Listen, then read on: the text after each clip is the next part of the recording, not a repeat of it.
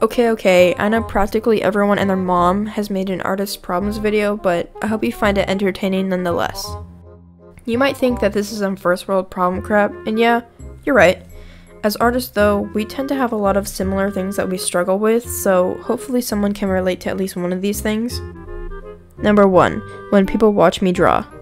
I really don't know why this bothers me so much, but whenever someone is watching me draw, my skill just instantly decreases by 100% for some reason.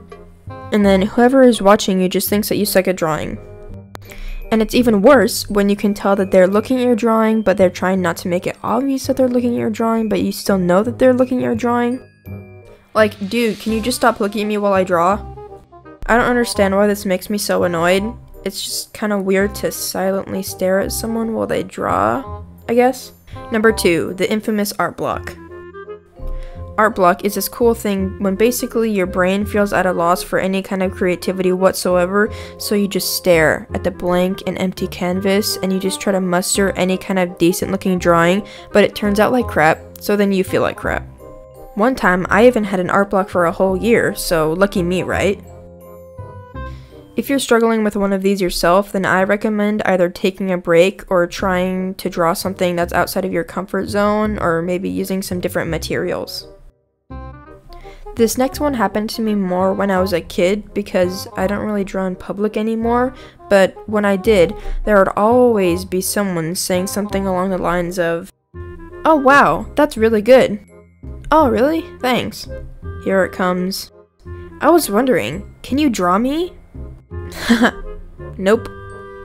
I mean, do people really expect us to just drop whatever we're doing and to just draw them for free nonetheless? I mean, imagine you walk into a restaurant and you say, Wow, that food looks really good. Can you make me a dish for free? You would instantly be kicked out and probably banned for good measure. Number four is when you flip your canvas and then it actually turns out that you created an abomination. This one is more common with digital artists, but there is actually a way to flip your art traditionally too.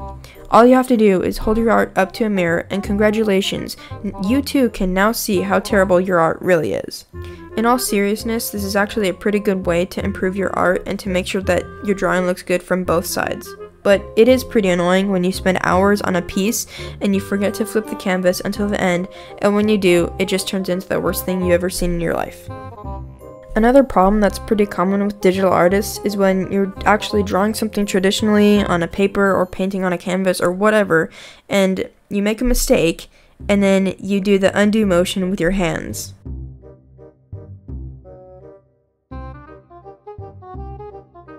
What a fool I am. I guess this is an example of something that I have control over and not necessarily a major problem, but it's just interesting that my brain always reverts back to using the undo button because I do so much digital art. But it makes me feel like a fool every single time that I accidentally do it. So that's pretty cool. Anyway, thank you for watching this video. Hopefully someone can relate to one of these. If you liked the video, please like, subscribe, and comment. If you didn't like the video, please feel free to tell me what I can do to improve it. And if you guys have any other suggestions on what videos you want to see, then please let me know in the comments.